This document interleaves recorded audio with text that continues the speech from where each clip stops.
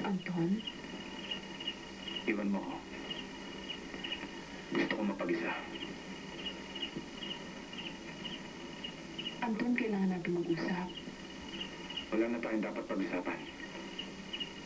Matagal na tayong hindi nag-uusap. Hanggang kailan pa natin pahirapan ang ating sarili? Ano ba ang gusto mong gawin ko? Hiwalayan kita. Para makasama mo lover boy mo. Yan ba sabi niya Pero sa'yo? bakit pa natin kailangan magsama samantalang hindi mo naman ako minamahal? Dahil akin ka. Akin ka.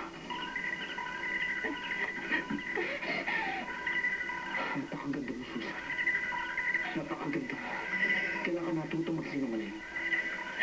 Alam mo, pag nagsisinungaling ka, lalo kang gumaganda. Sayang ang ganda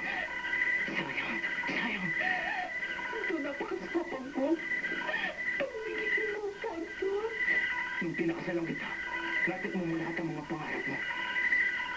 At mapama ba yun? Tapos lulukoy mo ako. Masasarapan kita. Magsasama tayo sa Susan. Huwag mo akalaan pakakaunang kita.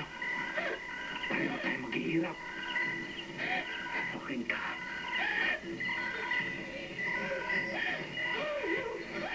Hayop. Ang hayop ay para sa hayop.